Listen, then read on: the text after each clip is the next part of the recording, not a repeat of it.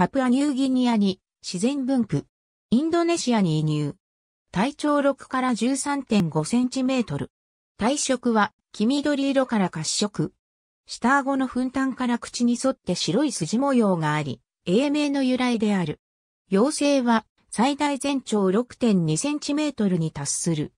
背面は暗褐色で体側面にオレンジ色の筋模様がある。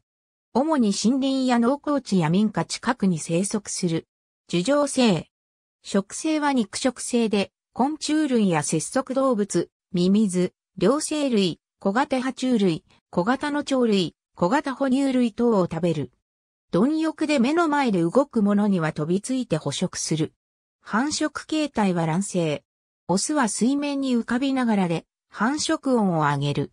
森林の中にある地小等に200から400個の卵を産む。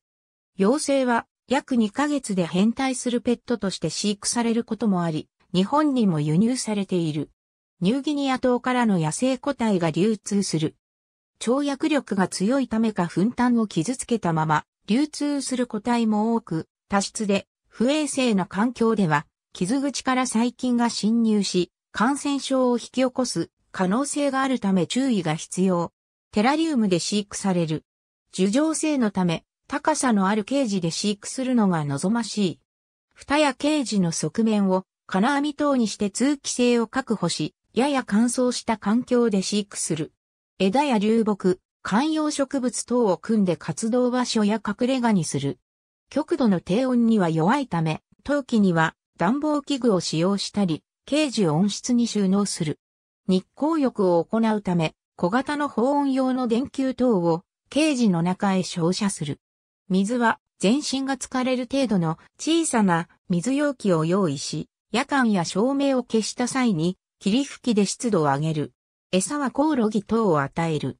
餌に対しては事前に野菜等の餌を与えたり、爬虫類や両生類専用のサプリメントを振りかけて栄養価を上げる。